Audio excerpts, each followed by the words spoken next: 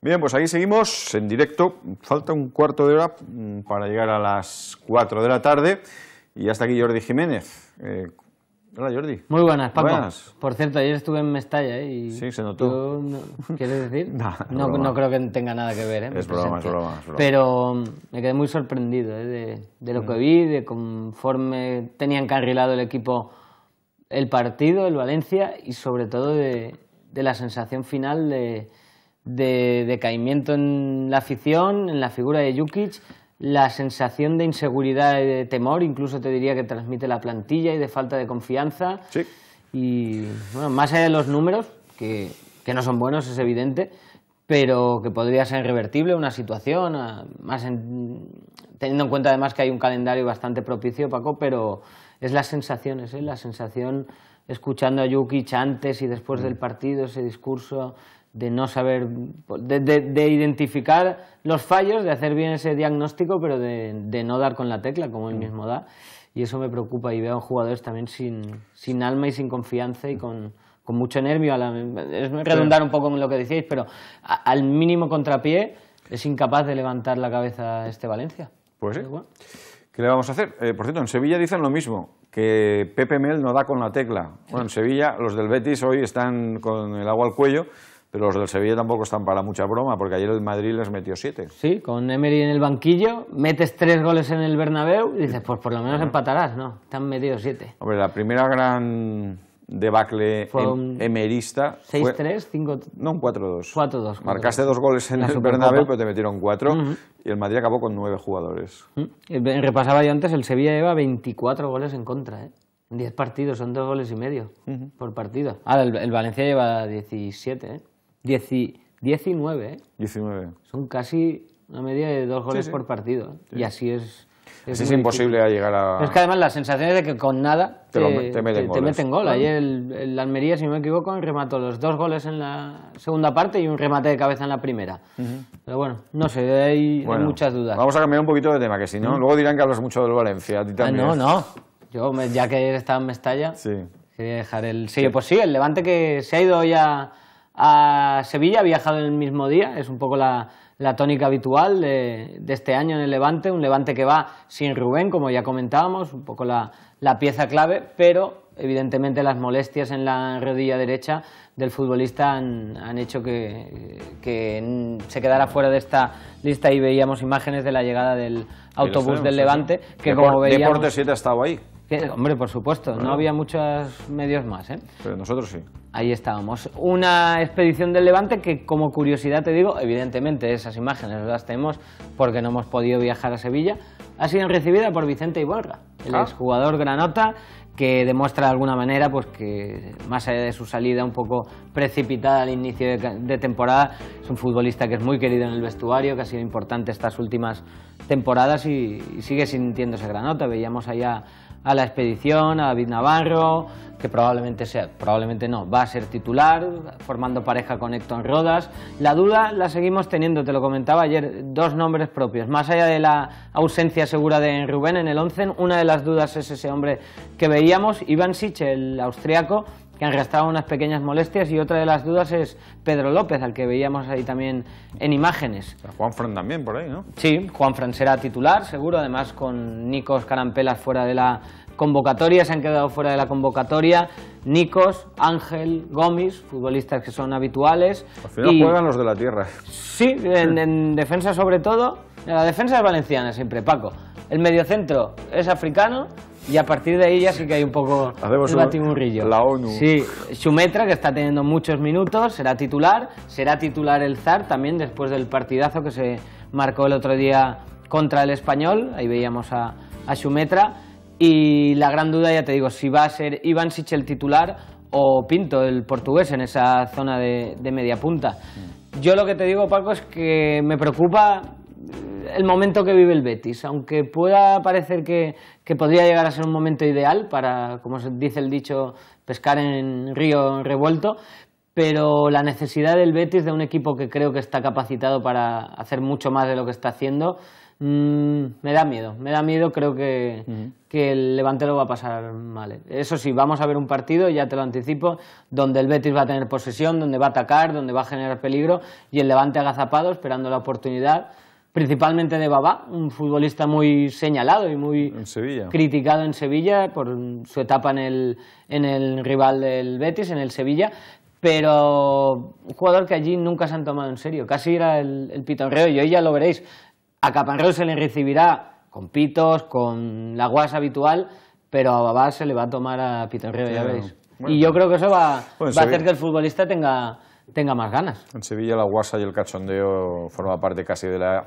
bueno, por lo menos del tópico, de la idiosincrasia andaluza. Además llega Caparrós, que es un técnico que además no, no solo se esconde, sino que saca pecho y... Nos recordaba Paco Sí, Gamero en, en radio, nuestro compañero Sí. de Sevilla, la, la última visita de Capanrós con el Mallorca coincidió unos días después de que el Sevilla le metiera cinco goles a- Sí. al Betis. Y Pues salió. nada, no, no entró así cabizbajo, disimulando, no entró saludando. Sí, cuando saludando le pitaban, con, con abrió, la mano. abrió Y los cinco dedos y les dijo, bueno, se han metido cinco en el Pizjuán. Eh, además fue una salida meteórica del Sevilla. Bueno, ¿cómo le ha ido al Levante en la última visita al- Pues al, campo mal, del Betis? mal, porque precisamente fue un partido donde los béticos dominaron con claridad, además desde bien pronto eh, se anticipó en una jugada extrañísima para lo que es el Levante, ¿ves? Córner a favor, Ese te es- pillan a la contra, que pocas veces le ha pasado en las cuatro últimas temporadas al Levante. Era Castro, Rubén Castro Sí. y el gol de Campbell. De Campbell. Repasaba yo los once de, de ese partido, sobre todo por el. Munúa. Por el sí, teníamos a- a- por el levante a, a Munúa, a, gente que, que ya no está, muchos, Ibonra, eh, estaba por ejemplo Michel, estaba Ballesteros. Juanlu, Roger, muchos futbolistas que no van a estar, incluso Rubén, que ese día fue el titular, tampoco estará.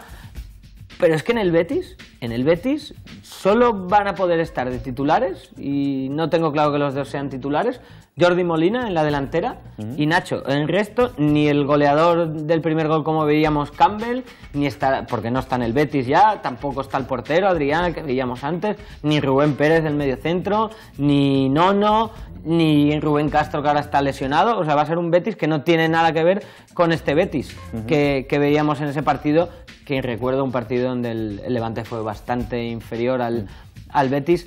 Eh, luego veremos imágenes de la temporada anterior. Va a depender, aunque, aunque parezca un poco simplista, del acierto que pueda tener el Betis y de conforme pasen los minutos. El guion en este partido, en el de la temporada anterior y en el de esta va a ser prácticamente el mismo. ¿Ves? Martins ahí ese día salió de, suplente, venía arrastrando unas, unas molestias. Además, eran unas jornadas antes, unas semanas antes de que el, de que el nigeriano se fuera hacia, hacia Estados Unidos, que pegara la, la espantada. Y veíamos imágenes de Roger en una buena oportunidad, el futbolista de la cantera de, de Torrent, que está cedido este año al Al Zaragoza. Zaragoza, Zaragoza. Pero te digo que ahora, porque ahora luego veremos imágenes también del partido de la temporada anterior, fueron partidos calcados. Un levante aguantando, mira, esta. Porque es que además quería recordar esta, este partido, Paco, este es de la temporada 2011-2012. Esto- Este es el día que por primera vez en la historia, aunque fuera unos minutos, el Levante se pone líder de primera división. ¿Ah, Será sí? un sábado a las 4, jornada 7, si no me equivoco. Juanlu, que volvía a un campo maldito para él porque estuvo 3-4 temporadas en las que prácticamente solo sumó 90 minutos en tres temporadas, se quedó fuera semana tras semana sin ficha y mira si tenía ganas. Un Levante que empezó de manera espectacular con, con Jim, la, perdona, con Luis García, Luis García la, Plaza. la temporada con ese equipo casi que recitas de memoria, con Javi Venta en lateral, con Ballesteros y Nano. Ese día jugaba del horno, no estaba Juanfran. Ahí está Baldo, ¿no? Eh. Baldo, esa línea de medias puntas con Baldo, con Barquero y con, con eh, Juanlu, que ahí marcaba. Buen y equi- con, buen equipo, y eh, con, un- un con equipo- delantero. Pues ese mismo equipo es el que dos jornadas después le mete un 0-3 al, al Villarreal en el Madrigal Sí. y esa semana ya sí que en solitario se mete el líder de, De de primera división. Pensábamos que era muy pasajero, ¿recuerdas Paco que hacíamos bromas? Sí, sí, Yo digo, no ir a Europa, no ir a Europa, imposible y mira. Te tuviese que cortar el pelo en público. Sí, sí. En televisión. Y, y bueno, eh, ahí yo creo que en, que en ese inicio de temporada, bueno, todo cimentado también en la época anterior de Luis García, pero empieza a creerse en sus posibilidades el, el Levante. Vamos a ver si puede llegar también a ser un punto de inflexión en lo positivo, en, Mm. en pensar de verdad, de verdad en poder estar en la zona alta. Si el Villarreal no gana, o en este caso pierde, el Levante se podría llegar a meter a un punto de, de Champions League. Bueno, recordamos, espectaculares. eh, estamos ya en la recta final del programa, hoy acaba la jornada, el viernes empieza la siguiente, bueno, esto es un, bueno, eh, es un cachondeo, como dicen en Sevilla, un despropósito. Eh, hoy juega el Villarreal, juega contra el Getafe, juega en el Madrigal. Eh, suponemos que Jukic irá a ver el partido al Madrigal, eh, para ver al rival con el, que, con el que juega el domingo a las 12. Yo me parece mucho suponer. Bueno, pues- Paco, a lo mejor sé. ¿eh? sería lo lógico. Sería ¿eh? lo lógico, Sería vamos, lo eh. lógico. Pero viendo a Jukic eh, El- públicamente, es- cómo se expresa y en la situación anímica que está, yo creo que no va a querer más focos, no va a querer Bueno, pues, llamar la atención. ya, ya, ya. Ya sé que lo lógico sería estar allí. su obligación es ir a ver el partido. Yo, vamos, eh, Mm. puede estar apocado, pero no puede ya, digamos, dimitir de sus responsabilidades eh, básicas. Es ver a tu rival que juega a 60 kilómetros esta noche. Sí. Así y, que. y eh, que vamos a ver, porque Getafe ha, ha hecho uno de los mejores inicios de las últimas temporadas. Con Luis García, por lo menos, era un equipo que acababa bien, pero que solía empezar un equipo, mal. un equipo raro, amorfo, un ambiente eh, nulo en el campo, las gradas no despiertan la pasión, hay muy poco público y sin embargo ahí está el Getafe. Sí, y probablemente con un ambiente en torno al club con mucha tranquilidad, pero además con buenos futbolistas. ¿eh, Paco? Eh, Pedro León se está afianzando cada vez más en su importancia. Sarabia, el canterano del Real Madrid, es un futbolista muy interesante, jugando ahí en la media punta. Diego Castro. Va a ser un rival duro ¿eh? para, el, para el Valencia, Sí. más en la situación de... Hoy en día para el Valencia cualquier rival. Sí, es verdad, pero claro, sí, la verdad es que sí, da igual reflexionar de la importancia del Getafe de después de verlo de ayer de Almería, de Pues la ya está. Almería, es verdad. Hoy también juega el Elche contra el Athletic de Bilbao en el nuevo San Mamés y el Levante juega frente al Betis. Mañana empieza la jornada con el derby catalán, con el español Barcelona. Sí. Y nada, y, y gira la rueda y el... Vamos a tener, si no me equivoco, 11 días de, seguidos de fútbol de liga. 11, 10, desde un viernes al lunes Bueno, de la semana siguiente, todos los días fútbol. y la semana que viene tenemos Semana Europea. Sí, así es.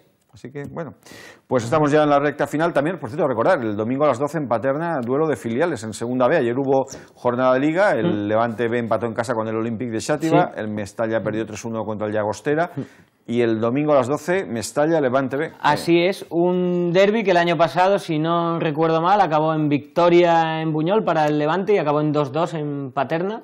La temporada pasada un Levante B que estaba muy fuerte con un gran equipo y que esta temporada es todo lo contrario. Solo ha ganado un partido, está último y vamos a ver, creo que el favorito sin duda para esta temporada es el Valencia Mestalla, que tampoco anda sobrado, pero ha empezado mejor. Ha empezado mejor, Domingo a las 12 en, en la Ciudad Deportiva de Paterna. Vimos hace dos semanas el derby femenino, este fin de semana el de filiales. También. El sábado por la mañana, por cierto, hay un duatlón en el circuito Ricardo Tormo de Chester, la semana previa a la celebración del Gran Premio de Motociclismo de la Comunidad Valenciana.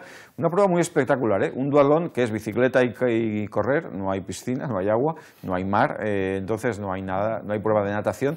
Y el, eh, va a ser el sábado por la mañana en el circuito de Chester. Además, hay para distintas categorías y va a ser una prueba muy interesante. Aquellos que quieran más información lo pueden encontrar a través de la página web de la Federación de, de Triatlón de la Comunidad Valenciana. Curioso, ¿eh? Debe ser bonito esa sensación de estar dando vueltas al circuito de, de Cheste con la bicicleta cuando aquellos van a los, Pues- los bólidos de Fórmula 1, las motos a, a 2 o 300 kilómetros por hora. y- Hay mucha expectación, de, además hay participación de muchos eh, atletas que vienen de fuera porque les motiva especialmente enfrentarse a la dificultad que supone correr en un circuito de velocidad. Es una, una de las novedades. Vale. Por cierto, te conté una curiosidad del Levante. ¿Tú te acuerdas de Mustafa Enriga? Hombre, claro. ¿eh? ese jugador que estuvo en el Levante, Claro, aquel sí. un poco alocado, Sí, sí, mm, haciendo buenos partidos, pero luego muy excéntrico fuera de la- del terreno de juego.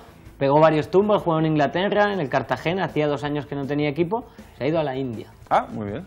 Pero habrá que ver a ese Mustafa arriba en la India. ¿eh? Habrá que verlo, sí, está bueno. de la cabecita. Félix Carballo, el ex eh, jugador del Levante y comentarista nuestro en radio, y algún día espero que venga por la tele, se va a la India porque está colaborando con una escuela de fútbol del Real Madrid y tienen que ir a la India, así que eh, no hay fronteras. Nos vamos ya, nos vamos por hoy y por esta semana, volveremos ya el lunes que viene. Mañana es fiesta, así que espero que disfruten del fin de semana y a ver si las cosas que les contamos el lunes son mejores que las que les hemos contado hoy. Gracias por su compañía, como siempre. Seguimos en la radio hasta las 5 de la tarde y muy buenas tardes.